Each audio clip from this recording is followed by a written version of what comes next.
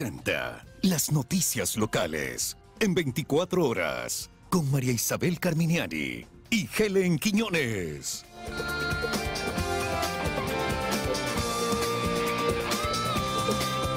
5 de la mañana con 55 minutos. Amigos, buenos días, bienvenidos. Gracias por estar junto a nosotros en esta nueva jornada informativa de este jueves 15 de septiembre de 2022. Estamos listas para contarles todo lo que acontece.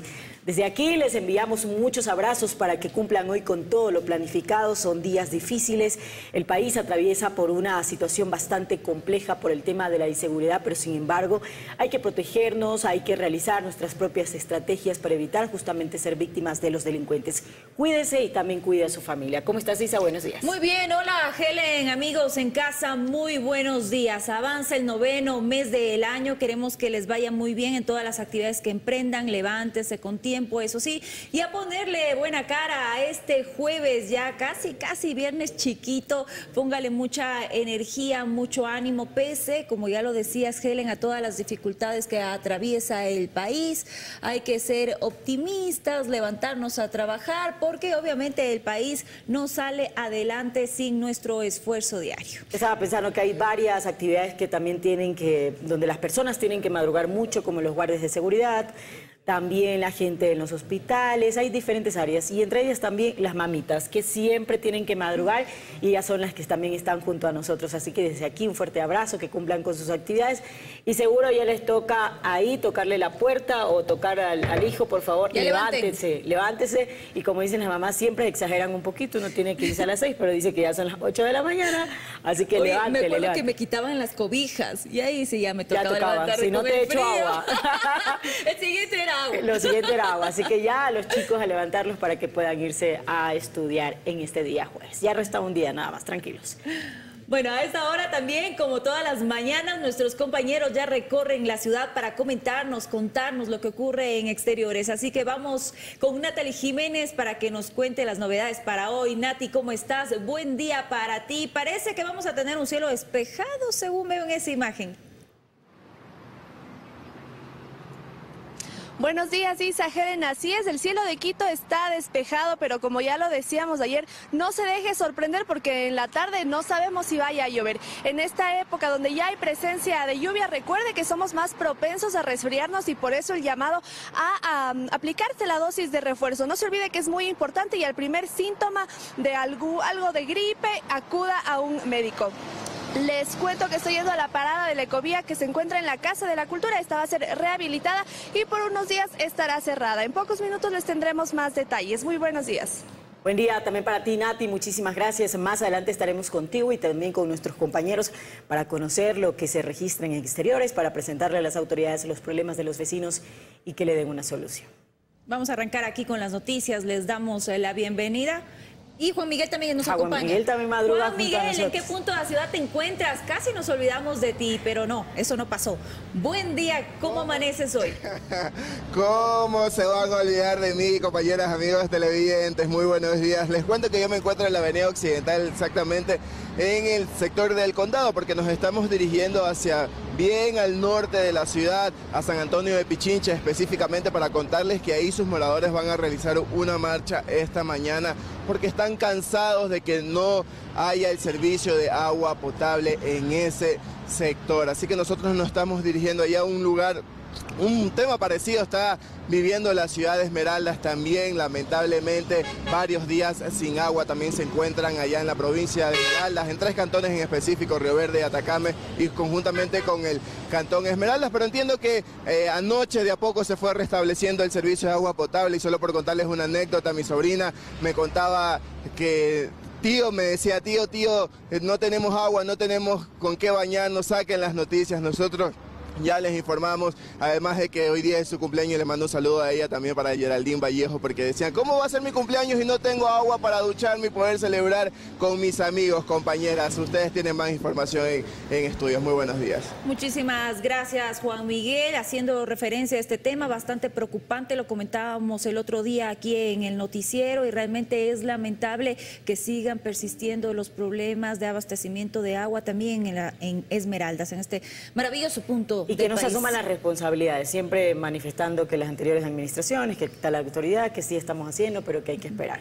Esperemos que se pueda, así es. Esperemos que se pueda solucionar al 100% este problema para que no se afecten todas las actividades a las familias y también el tema turístico, que es la principal actividad económica.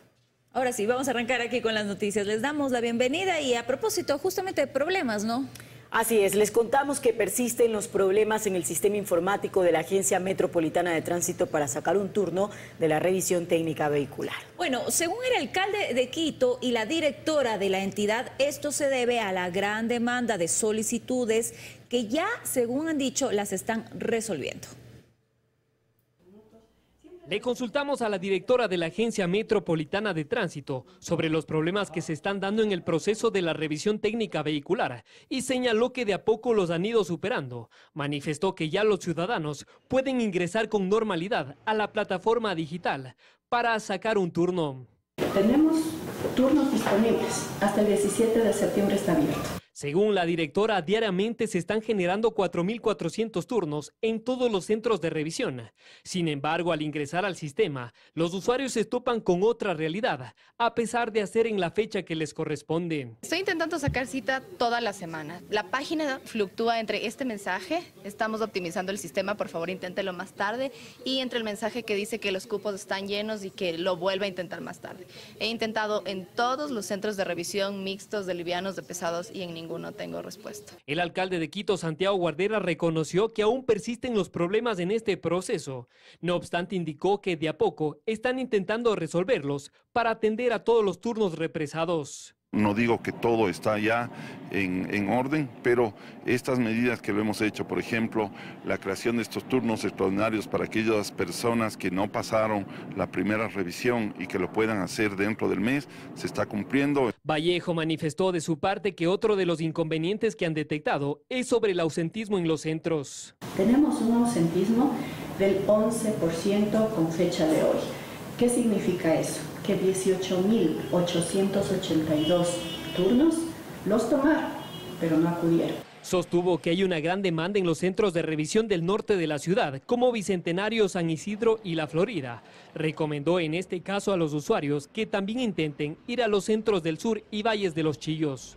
Guamaní no se logra llenar, incluso hemos tenido días en donde hasta nos da pena cuando vemos que Guamaní se perdieron 120 turnos, incluso atendemos en redes sociales.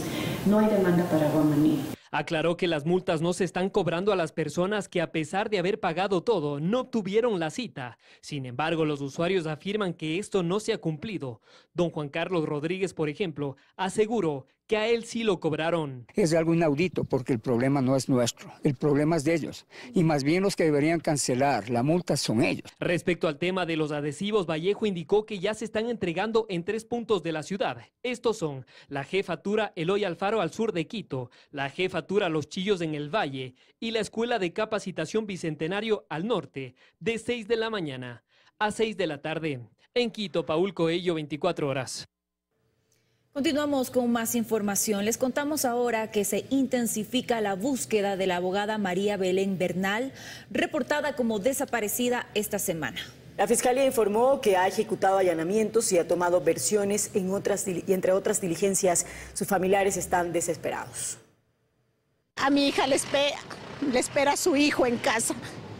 Isaac le está esperando y, no sé ni qué responderle porque le he prohibido que vea hasta redes sociales.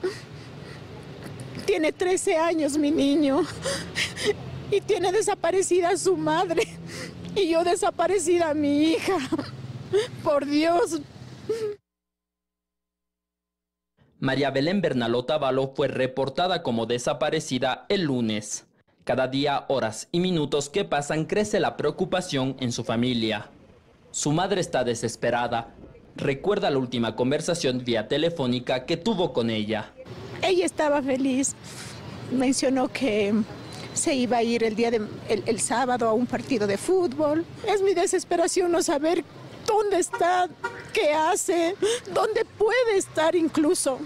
En las últimas horas se han intensificado las diligencias relacionadas a este caso que se encuentra en indagación previa, por lo que las evidencias que ha recopilado la Fiscalía hasta el momento se mantienen en reserva. El abogado de la familia explica lo último que se supo de ella. noche del sábado, madrugada del domingo, se acercó a verle a su esposo en la escuela de policía, ingresó, está comprobado que ella ingresa a la escuela de la policía y no sale jamás. No se sabe de ella más. El ministro del Interior, Patricio Carrillo, se pronunció vía Twitter. La Policía Nacional tiene claridad de que debe actuar de manera profesional y bajo la ley.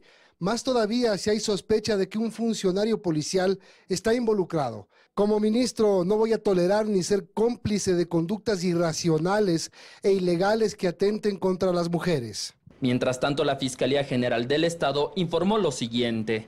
Para localizar a María Belén B, la Fiscalía ha dirigido sobrevuelos y verificaciones en la Escuela Superior de Policía y quebradas aledañas, ejecutando allanamientos y tomando versiones, y continúa con diligencias para dar con el paradero de la ciudadana. Fiscalía que sí, nos está apoyando, pero yo necesito ya respuestas. Y las respuestas tienen que ser oportunas, emergentes.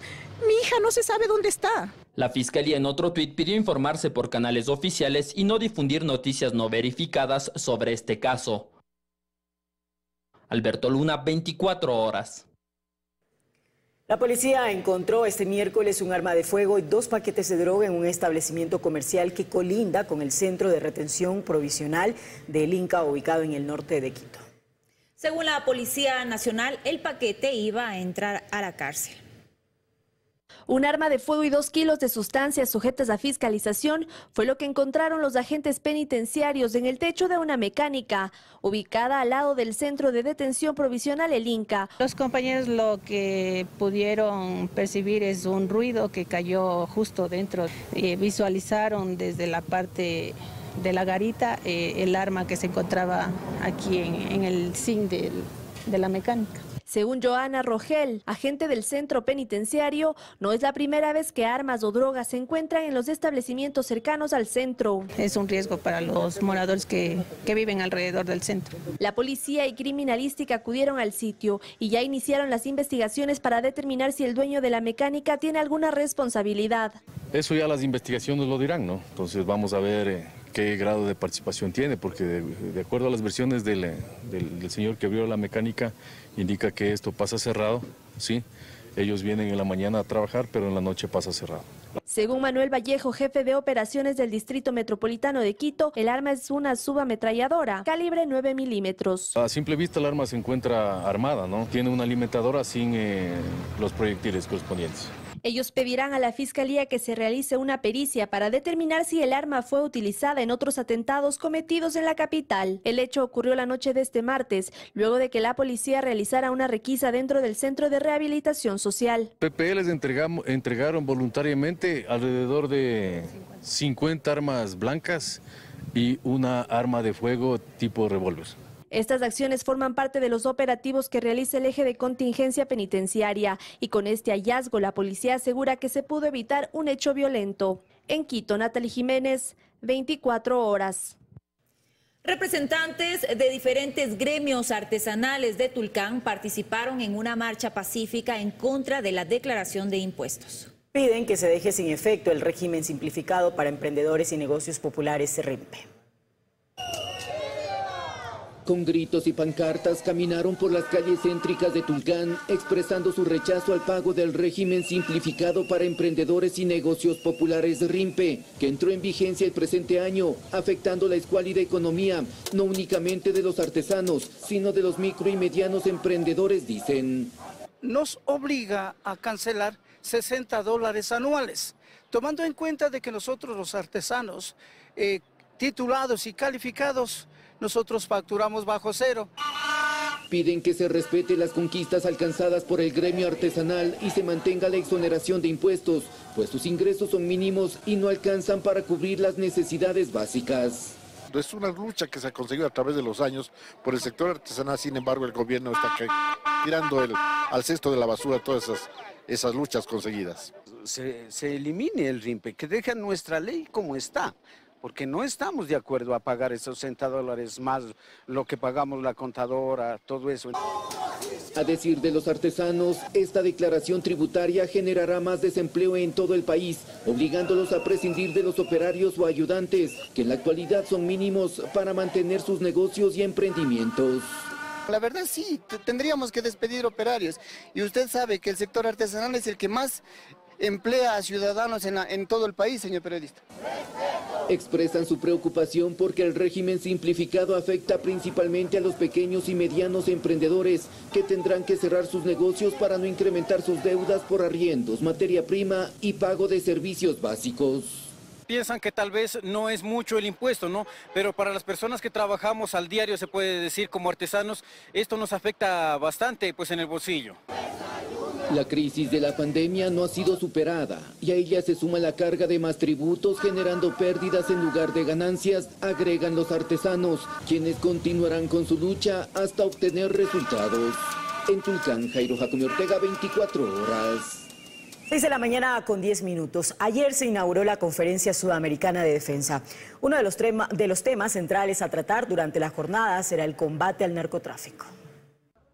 Con la participación de los jefes de defensa de 11 países de América y la jefe del Comando Sur de Estados Unidos, Laura Richardson, se inauguró este miércoles la Conferencia Sudamericana de Defensa, que es considerada uno de los foros de discusión más importantes de la región para fortalecer la cooperación entre las naciones y lograr consensos de seguridad y defensa. En esta ocasión, uno de los temas centrales será buscar estrategias para combatir el narcotráfico. Se vuelve cada vez más urgente encontrar mecanismos de cooperación eficaces, no solamente ante las amenazas externas a la paz del continente, sino de manera especial ante el embate del narcotráfico, las organizaciones criminales transnacionales y la subversión.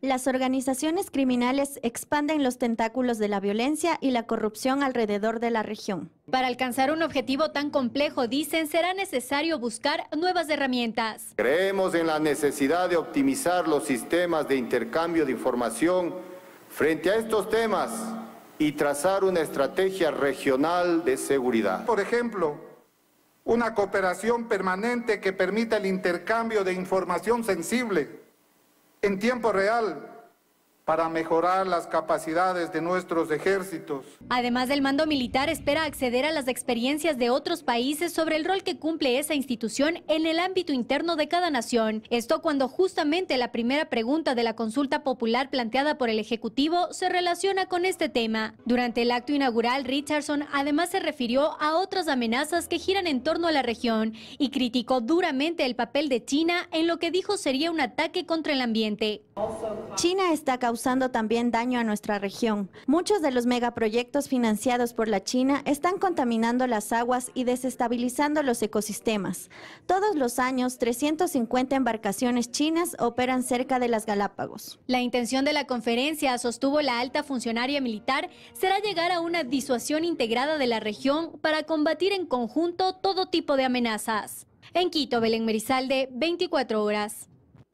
Continuamos con más y en otro tema les contamos que persisten las quejas por el incremento de los pasajes de buses que conectan a Quito con parroquias del nororiente. Representantes del Valle de Tumbaco pidieron revertir la ordenanza durante la sesión de la Comisión de Movilidad. Representantes del Valle de Tumbaco y de parroquias aledañas acudieron a la Comisión de Movilidad del municipio de Quito para expresar su malestar por el alza de los pasajes que rige desde hace más de dos semanas. Para ellos el incremento es desproporcionado y por lo tanto la Secretaría de Movilidad debería revertir la ordenanza aprobada. De 25 pasar a 35 centavos es el 40%, lo cual destruye la economía de, de las familias. Nosotros estamos conscientes de que no se han revisado las tarifas durante años, pero eso no es nuestra responsabilidad. No nos oponemos a la alza, pero a una alza desproporcional de un día al otro no puede ser. La medida adoptada es una medida inconsulta y desproporcional, el cual queremos apelar. Y lo estamos haciendo y estamos apelando en las instancias correspondientes. Los valores que actualmente se cobran son de 35 centavos la parada mínima. Desde el Quincha a la estación de la Río Coca o viceversa, un dólar con 20 centavos. Desde Checa esa estación, un dólar. Desde Pifo 70 centavos. Si el trayecto comprende la Yede Puembo y la Río Coca es de 60 centavos, desde Tumbaco 50 centavos y desde Cumbayá 35 centavos. Luego de las quejas por el incremento de los pasajes recogidas en la Comisión de Movilidad, preguntamos a los usuarios si es que han evidenciado mejoras en el servicio que justifiquen el alza. Esto fue lo que nos respondieron. De los verdes y los de Tumbaco de Cumbaya. ¿Cómo han mejorado? Hay más, o sea, ya llevan sentados, no llevan gente de parada. No me parece justo el alza del pasaje porque primero no hay un buen trato, no hay la asepsia que se necesita como ciudadanos, que estén las unidades limpias. ¿Quién controla esto? Es lo mismo, ahí subieron el precio demasiado, la verdad. El presidente de la Comisión de Movilidad, Omar Ceballos, ofreció ser un intermediario con la Secretaría de Movilidad para que analice ese tema. La Comisión de Movilidad lo que puede hacer únicamente es exhortar a la Secretaría de Movilidad a que le reciba a ustedes. De momento se han instalado mesas de trabajo para recoger las inquietudes relacionadas a este incremento. Buscamos una respuesta de las cooperativas que ofrecen el servicio de transporte público a parroquias del nororiente de Quito, pero nos informaron que el administrador no estaba en la estación de la Río Coca y que este jueves podríamos realizar las respectivas consultas. Alberto Luna, 24 horas. 6 de la mañana con 15 minutos, amigos, avanza este día y por ello queremos en este momento reportarles el tiempo para que salgan de casa informados. Quito amanece con un cielo despejado, pero tenemos 7 grados centígrados, hace un poquito de frío, tome las precauciones. Esta no será la misma situación al mediodía, donde se espera que el cielo esté nublado, pero tendremos una temperatura de 19 grados. En horas de la noche se prevén lluvias y la temperatura desciende un poco más a 14 grados centígrados. Será un día frío y de lluvia, por favor, a tomar las precauciones. Pero vamos a revisar qué pasa en otros rincones del país. Para nuestros vecinos de Cuenca, en Azuay, vecino de Cuenca, buenos días, gracias por estar junto a nosotros. Le informo que en este momento tiene 10 grados centígrados y el cielo de Cuenca está nublado. En Sicchos tenemos 9 grados centígrados y llueve a esta hora de la mañana. Un saludo para nuestros vecinos de este sector. Y en Cayambe, 7 grados centígrados y el cielo está nublado. Será un día frío en algunos puntos del país, a tomar las precauciones del caso para que nadie le impida tener un excelente día y cumplir con todas sus actividades. 6 de la mañana con 20 minutos. Continuamos con más noticias. Les contamos ahora que los habitantes de Esmeraldas, Río Verde y Atacames tienen 7 días sin el servicio de agua potable. Según las autoridades, se debe a una falla eléctrica en la planta de tratamiento que impide la distribución, lo que deja en evidencia la escasez histórica de este servicio vital en la provincia. Es la pugna de los habitantes de la ciudad de Esmeraldas que llegan hasta la planta de tratamiento al oriente de la ciudad en busca de agua potable, pues tienen más de siete días sin el servicio. No, pues hay que tomar medidas. Hay que tomar medidas para que, para que se nos escuche. Ya llevamos más de seis días y ni siquiera llega el agua aquí, mire. Cojan y súbanse en un tanquero, deleguen a una persona y vayan entregándole de caneca en caneca para que se beneficien los pobres. En otros sectores de la ciudad, con recipientes, tanques, baldes, intentan abastecerse de tanqueros repartidores para realizar las actividades en sus casas. Necesitamos, aunque todo, para los niños que a veces piden agua para tomar, para ir al baño, para cocinar, para otra cosa, y necesitamos el agua. Una falla eléctrica en la planta de tratamiento dejó sin el servicio de agua potable a más de 414 mil usuarios de los cantones de Esmeraldas, Atacames y Río Verde. Esto es criminal lo que se está haciendo. Usted sabe que el agua es, el factor principal para, para la subsistencia de los seres humanos. La escasez histórica de un adecuado servicio de agua potable se hace evidente una vez más, afectando la cotidianidad de los ciudadanos y el sector turístico. Algunas familias han acudido hasta los ríos para bañarse y lavar la ropa. No tenemos ni cómo parar, hay veces la, la, olla porque no hay agua. Según las autoridades, este problema será resuelto en su totalidad en cuatro días. Queremos minimizar los tiempos y por ello dice él que hoy día seguimos en la prueba para que el día de mañana estemos ya a otro nivel.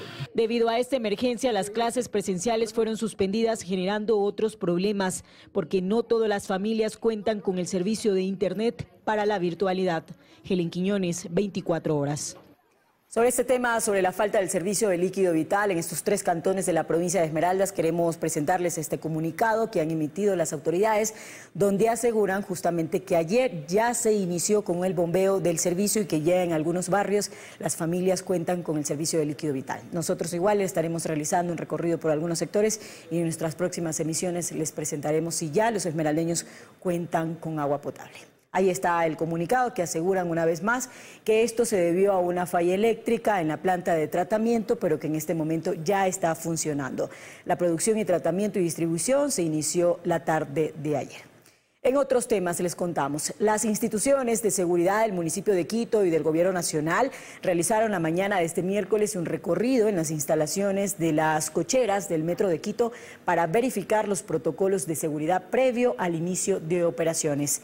Según la Secretaría de Seguridad del Distrito Metropolitano de Quito, esta mega obra debe cumplir ciertos parámetros de seguridad para que los usuarios no corran peligro cuando esté en funcionamiento este sistema de transporte. Este es un consenso de voluntades. Estamos presentes todas las instituciones de seguridad del municipio y también del gobierno nacional. Para nosotros es importante que los quiteños sepan que tenemos toda la predisposición. En equipo estamos trabajando con todo nuestro contingente para que el metro pueda operar en las fechas que nuestras autoridades han mencionado. Sin embargo, es en estos espacios donde se verifica qué es lo que hace falta, qué es lo que debería trabajarse. Como siempre decimos, mientras haya una vida que proteger, cualquier otra cosa puede quedar de lado. En otro tema, llegó a Ecuador Digitaxi. Se trata de una aplicación móvil específicamente para el gremio de taxis amarillos del país. Este nuevo servicio va a contar con el apoyo del EQ911, el cual brindará seguridad tanto al conductor como al usuario. Conductores de taxis y autoridades se dieron cita en la presentación de la nueva aplicación que llegó al Ecuador. Digitaxi tiene como prioridad la seguridad y la calidad del servicio. Para aprobar a las personas que conduzcan estos vehículos, evaluarán sus antecedentes judiciales y de tránsito con el fin de dar tranquilidad a los pasajeros. el Digitaxi nos se conecta al app de la, del ECU 911 y nos reporta lo que, eh, eventos que deben ser llevados hacia la línea 911 para nosotros activar las emergencias y activar a las instituciones de respuesta. Por lo tanto, son dos mecanismos que venimos trabajando. Son 3.500 unidades que están habilitadas para operar en la capital se espera que próximamente esta plataforma funcione en otras ciudades del país. Para poder operar en Digitaxi, los conductores y las unidades tendrán que tener sus papeles en regla. Se les están revisando los puntos, se está viendo que la unidad está en perfectas condiciones, si no, no ingresan no es, no es que todos.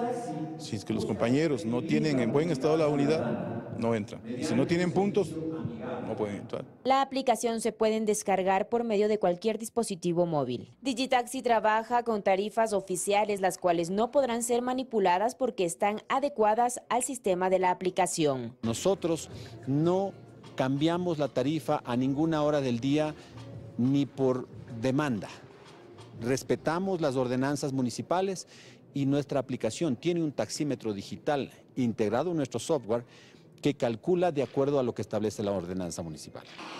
El servicio de movilidad inteligente diseñado en el extranjero pero adaptado para la regulación ecuatoriana brinda una cobertura con póliza de seguros de accidentes personales a los pasajeros y a los conductores les da una póliza de responsabilidad civil contra terceros. En Quito, Carla Cerón, 24 horas. El cuerpo de agentes del control metropolitano cuenta con nuevos equipos. El alcalde entregó 12 vehículos y 7 equinos que van a permitir, según las autoridades, cumplir de mejor manera la prevención del delito y el control en toda la ciudad capital. Los agentes de control junto a entidades municipales y a la Policía Nacional han iniciado un trabajo interinstitucional que ha permitido implementar operativos permanentes tanto en el transporte como en el espacio público. Según la planificación, la compra de los siete semovientes equinos apoyará en los patrullajes en parques, lo que permitirá mantener el orden y apoyar la seguridad ciudadana. El hecho de tener los equinos nos permite recorrer en mayor cantidad y ocupar ciertos espacios en donde es difícil transitar eh, peatonalmente. Eh, pero además eh, la dotación de estas 12 camionetas nos van a permitir hacer un trabajo mucho más efectivo y esto nos va a permitir ejecutar las tareas mucho más rápida y además... Tenemos más noticias para ustedes. Miembros de la Policía Nacional organizaron una feria de salud donde acudió personal de varias instituciones como la Cruz Roja, el Ministerio de Salud y otras entidades que brindan este servicio. Según las entidades, estas actividades sirven para prevenir enfermedades en uniformados y también en la comunidad. Algunos asistentes donaron sangre para la Cruz Roja y otros, en cambio, se realizaron exámenes de detección de virus y patologías graves. Tenemos aquí a la Cruz Roja que está realizando, eh, eh, sacando la sangre a, algunas personas para su banco de, sangre. De igual manera tenemos del Ministerio de Salud Pública las pruebas de COVID, tenemos eh, chequeos oftalmológicos, nutricionales. Tratamos de buscar la, el bienestar de nuestro talento humano, mejorar la calidad de vida para que den un mejor servicio a nuestra comunidad. Entre el 17 y el 25 de septiembre, el Ministerio de Salud Pública activará dos nuevas mingas por la vacunación. Esta vez se concentrarán en las provincias como Esmeraldas y Loja, cuyo porcentaje de vacunación con la primera dosis de refuerzo está por debajo del 51%. Tras la gran acogida que tuvo la primera minga por la vacunación que hizo el Ministerio de Salud, esta cartera de Estado prepara dos campañas más para este mes. La primera será este 17 y 18 de septiembre y habrá una más, el 24 y 25 de este mismo mes. Esta vez, el trabajo priorizará las ocho provincias cuyo porcentaje de vacunación con la primera dosis de refuerzo está por debajo del 51% como Esmeraldas, Guayas, Los Ríos, El Oro, Loja, Zamora, Chimborazo, Cotopaxi. Para las mingas en todo el país se habilitarán más de 1.900 centros de salud y se aperturarán puntos de vacunación en mercados, plazas y centros comerciales. Más de 200 eh, puntos masivos de vacunación y aspiramos contar al menos con más de 1.500 brigadas. Entre los ciudadanos hay expectativa por estos espacios de vacunación. Dicen que esta es la mejor forma de prevenirlo. Antes no me vacuné porque estaba en el tema del trabajo, estaba por el oriente y recientemente estoy de vacaciones de acá en la capital y, voy a hacerme vacunar. Según el Ministerio de Salud Pública, Pichincha es la provincia que tiene el porcentaje de vacunación más alto en todo el país. El 74% de la población de esta localidad ha decidido vacunarse. Los vacunatorios atenderán desde las 8 de la mañana en el fin de semana. En Quito, Karen Aro Ruiz, 24 horas. Y presten mucha atención porque queremos recordarles que algunas paradas de la ecovía serán totalmente rehabilitadas, por lo que estarán cerradas por un mes y medio. Natalie Jiménez se encuentra precisamente en una de estas paradas para ampliarnos la información. Nati, te damos el paso. ¿Qué tal, Isa? Amigos televidentes, muy buenos días. Así es, nosotros estamos en la parada de la Casa de la Cultura, ubicada en la avenida 6 de diciembre y Patria. Y así es, efectivamente, esta es una de las cinco paradas que serán totalmente rehabilitadas en esta primera fase, en la fase 1. Recordemos que estas paradas fueron vandalizadas durante las manifestaciones y justamente por eso se las va a intervenir. Nos encontramos aquí con el gerente de la empresa de pasajeros para que nos cuente cuáles son las otras paradas que también van a rehabilitar. Muy buenos días. Sí, muy buenos días. Justamente estamos ya iniciando el plan de mejoramiento de la infraestructura de las paradas de la ecovía.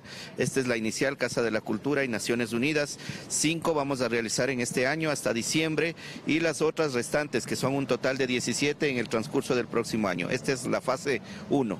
¿Las van a cerrar todas a esas cinco de una o van a ser por fases también, como dos primero, luego otras dos y finalmente una parada más? Sí, por cuestiones de operatividad justamente vamos a iniciar con dos, posteriormente terminadas estas dos, vamos a hacer dos adicionales y la última hasta acabar en el mes de diciembre, que es lo que se tiene previsto. Ya habíamos hablado del mal estado en el que quedaron estas paradas, pero recuérdenos, ¿qué nomás es lo que ustedes van a cambiar? Sí, bueno, a más del mal estado que se generaron en, en, en las paralizaciones, lo que vamos a hacer es el cambio justamente de la parte del piso. Todos hemos apreciado que estas paradas presentan condiciones de inseguridad al tener una rampa que eh, a los usuarios les imposibilita tener una mejor condición de transporte, muchos accidentes en, dentro de las paradas. Entonces esto se va a modificar, se va a subir la parada, se va a mejorar la infraestructura, la parte eléctrica y con eso vamos a tener mejores condiciones. Y como vemos ahorita, una de las unidades está en uno de los carriles de, de circulación normal.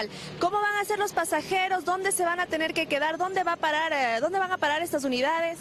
Bueno, hemos estado en un plan de socialización justamente para nuestros usuarios, para que puedan utilizar las paradas Galo Plaza, que es posterior justamente a la Casa de la Cultura, y en Eugenio Espejo.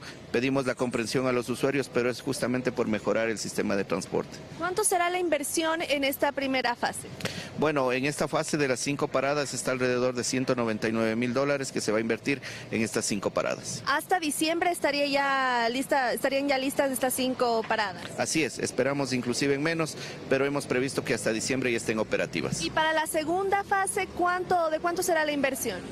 Aproximadamente vamos a hacer cinco, cinco paradas más, que será un valor eh, más o menos referencial igual a 199 mil dólares. ¿Va a estar totalmente cerrado esto? Eh, ¿Desde qué hora van a realizar los trabajos ustedes? Sí, básicamente va a estar, van a estar cerradas la parte que se va a interactuar con las paradas y eh, va a ser en el transcurso del día, obviamente por las condiciones que presenta, la, digamos, en el día y esperamos no tener mayores inconvenientes. Para que las personas se informen de qué parada va a estar cerrada, cuál va a estar abierta, ¿en dónde lo pueden hacer? Bueno, a través de nuestras redes sociales estamos actualizando permanentemente la información y a través de los medios del municipio también. Perfecto. ¿Nos recuerda nuevamente cuáles son las cinco paradas de esta primera fase, por favor? Bueno, las primeras, para, las primeras paradas que van a ser intervenidas son justamente Casa de la Cultura, Naciones Unidas, Bellavista, Jipijapa y Vaca Ortiz. Perfecto, muchísimas gracias. Ya escuchamos cuáles son las cinco paradas eh, que van a ser intervenidas en esta primera fase. Uh, mucha atención a las redes sociales de la empresa de pasajeros para que usted esté prevenido. Esta es la información que les tenemos. Volvemos contigo, Helen Estudios. Muy buenos días. Buen día también para ti, Nati. Es responsabilidad de todos los ciudadanos cuidar estos espacios. Ahora les contamos que vecinos del sector del Dián Bajo, que pertenece a la parroquia de Conocoto, Piden a la empresa de obras públicas colocar urgente un semáforo en una de las intersecciones en donde en horas pico se congestiona. En el lugar, junto a los vecinos, está nuestro compañero Paul Cuello, quien ya recorre justamente esta zona para constatar lo que dicen los vecinos. Paul, buen día, te escuchamos. Gracias, Helen. Amigos, ¿qué tal? Buenos días. Así es, la desesperación de los vecinos de acá, de este sector, es evidente. Manifiestan que ya han hecho la solicitud a las autoridades, en este caso a la empresa de movilidad y obras públicas, de colocar un semáforo en esta intersección. Estamos ubicados en la calle Chillo, Gijón y San Pedro de Taboada. Como pueden observar en imágenes, a estas horas, en hora pico, se genera un trancón enorme acá, eh, filas interminables de vehículos que vienen justamente de los barrios de allá de Taboada y también de, eh, que suben al sector del sector del Valle de los Chillos hacia la capital de los ecuatorianos. No hay un semáforo, no hay un agente de tránsito en este sector y vean ustedes la, fila enorme que se eh, genera justamente por este inconveniente, porque no hay un semáforo y ni tampoco un agente de tránsito que eh, trate de descongestionar esta zona. De lo que conocemos, ya han hecho las solicitudes, en este caso a las autoridades, pero no les dan oídos. Melissa, buenos días. Muy buenos días, muchas gracias al noticiero de la comunidad de Teleamazonas por darnos la atención que, requerimos. Eh, como ustedes pueden evidenciar, realmente este, este barrio es un barrio tanto residencial como un barrio que se encuentran varias unidades educativas. Eh, bajo estas circunstancias es ya el, problema de la movilidad se ha vuelto caótico. Eh, en esta avenida, como ustedes pueden observar, que es la avenida Chillo Gijón, habitamos aproximadamente más o menos como 10 conjuntos, mediante de los cuales eh, es imposible salir. Nosotros desde las 6 de la mañana evidenciamos trancones. Eh, no hay una debida cultura vial. Realmente eh, también vemos la calle, la avenida, que es la avenida de San Pedro de Taboada. Podemos observar, incluso corren hasta en peligro los vehículos porque como pueden observar no hay un semáforo en este sector pasan del un lado, pasan del otro, pasa la intersección y como les indicamos es sumamente peligroso esto.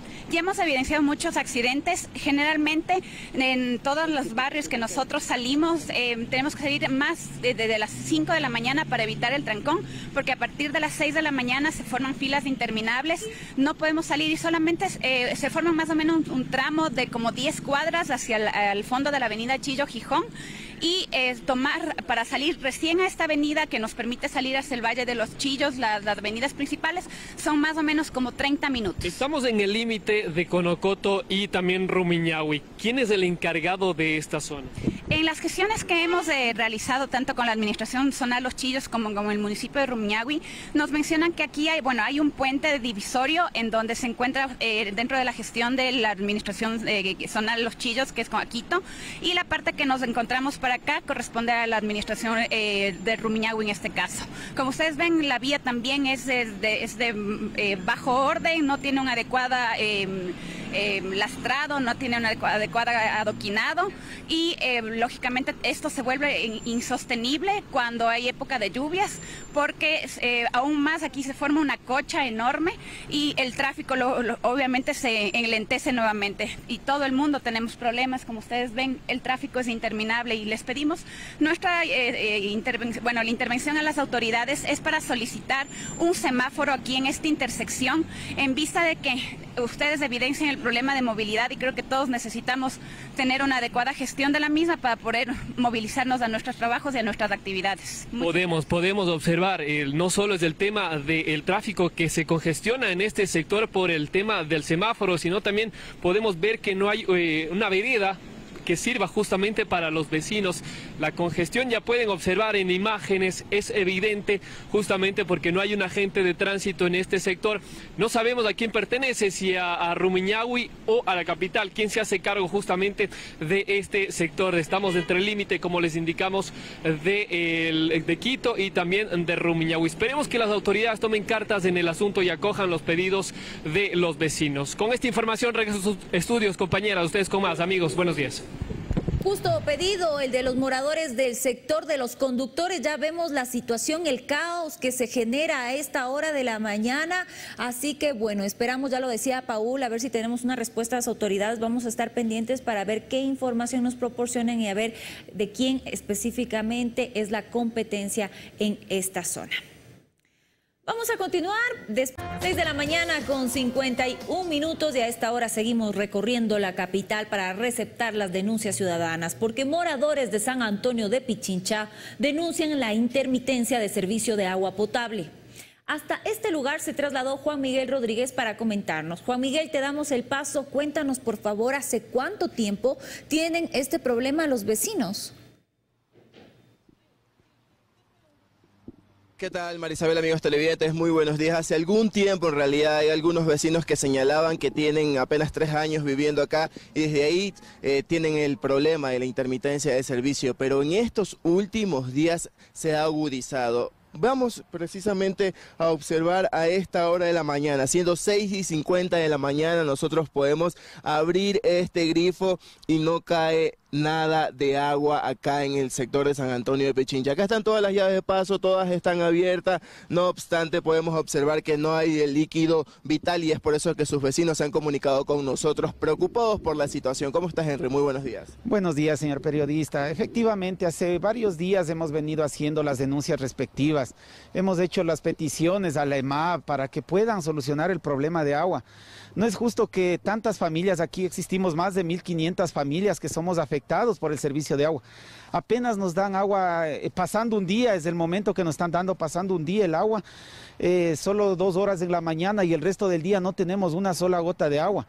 El, ingeniero encargado de la distribución del EMAP nos dice que, que, está viniendo el tanquero de agua a dejar acá, pero es, es mentira, eso no está pasando no llega, no tenemos agua. Cuéntenos un poquito de los antecedentes. Yo entiendo que usted tiene algunos años, pocos años, unos tres años viviendo acá y desde ahí tienen el problema de servicio de agua potable, pero estos últimos días el problema está bastante grave.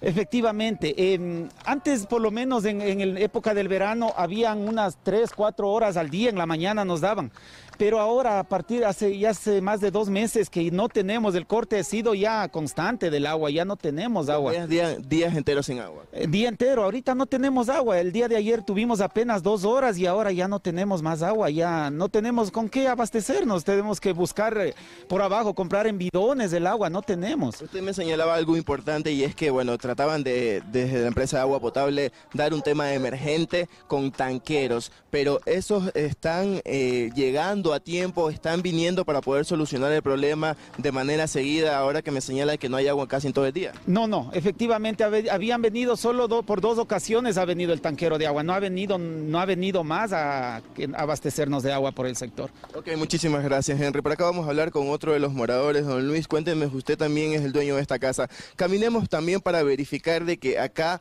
tampoco hay el servicio de líquido vital, si nos acompaña también mi camarógrafo, por favor, Pablo. Pablo, acá también vamos a abrir, don Henry, y tampoco cae agua. O bueno, vemos que cae y el agua está sucia. Sí, así viene a veces. ¿Qué, qué eh, Buenos días, buenos días vecinos. Eh, el problema aquí es que eh, cada verano no tenemos agua. Eh, a veces hasta el invierno no, no tenemos agua, nos dan así contadas gotas o contados días, horas, digamos, a veces una hora y ya se seca. Ahorita es lo que está viniendo, creo que por ahí de lo que está regresando de mi reserva de arriba, porque ese es mi medidor y aquí tenemos cuatro medidores. Entonces, si cerramos, o sea, esto... ¿Y la fuerza del agua cómo llega, vecino? Eh, así, débil, débil, no llega con mucha fuerza. Entonces tenemos... ¿Abastece a los pisos que usted tiene acá? Al tercer piso que tengo yo no. A veces sube despacito, o sea, bien lento. Entonces, ¿Está afectando esto en el diario vivir con los niños que tienen que irse a clase, tienen que cepillarse los dientes? Eso, señor de, de, Televisión, muchas gracias por visitarnos en esta, en esta vez. Eh, los problemas es por los niños que no pueden asearse en la mañana para ir al, al colegio y a la escuela. Entonces, eh, no tenemos agua. Tenemos que ir a traer a veces de, de otra, de, San Antonio, de más abajo. Y estamos acá arriba del monumento a seis cuadras nomás y no tenemos agua.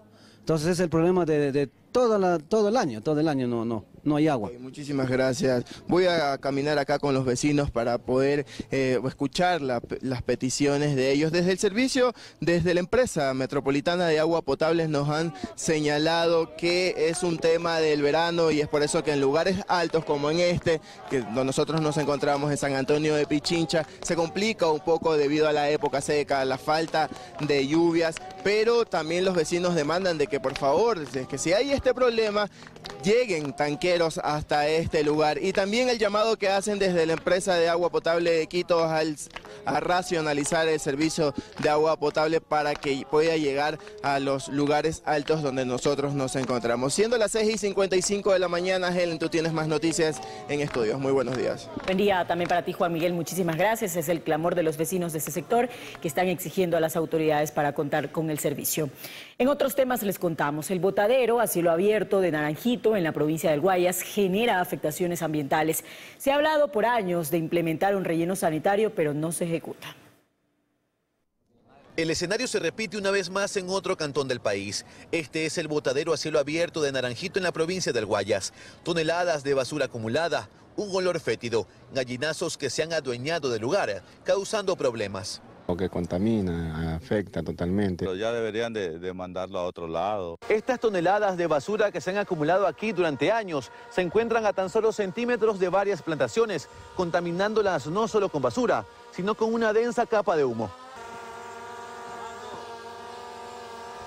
La basura a veces llega hasta allá afuera. Cada vez y cuando anda que se prende, mire, solito. Desde 2014 ya se conocía de la afectación ambiental del botadero. Estudios de administraciones municipales anteriores así lo demuestran, pues no cumple con todas las normas técnicas y ambientales. Al día de hoy, son conscientes que la afectación continúa. Se nos ha incendiado el basural por, por temas de, de, los gases. Se prende por cualquier actividad, puede ser la temperatura mismo y se contaminan las aguas subterráneas. Y también tenemos la, afectación por moscas y vectores. Si hay un cultivo eh, agrícola, también puede ser afectado en su producción. Desde 2014 ya se hablaba incluso de implementar un relleno sanitario. Han pasado ocho años y otra administración municipal, pero esto no se ha dado. ¿Por qué?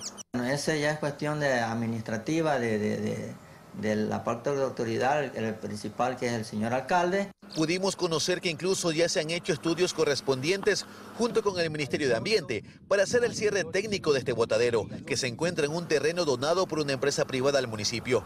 Y así empezar el proyecto del relleno sanitario en otro punto, obra que costaría cerca de 2 millones de dólares. Se tiene todo el proyecto en papel, pero duerme en el sueño eterno. No tenemos clasificación de basura, simplemente se hace el servicio de recolección y es depositado que en el botadero cielo abierto. Tienen que reubicar esto.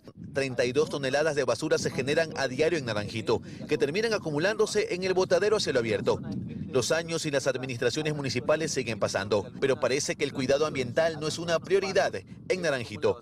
Luis Alfredo Zúñiga, 24 horas. En otro tema, orcas sorprendieron a habitantes y turistas en Puerto López, provincia de Manabí. Los famosos cetáceos suelen llegar al país en estos meses a propósito del aparamiento de las ballenas jorobadas. Quedó registrado en video.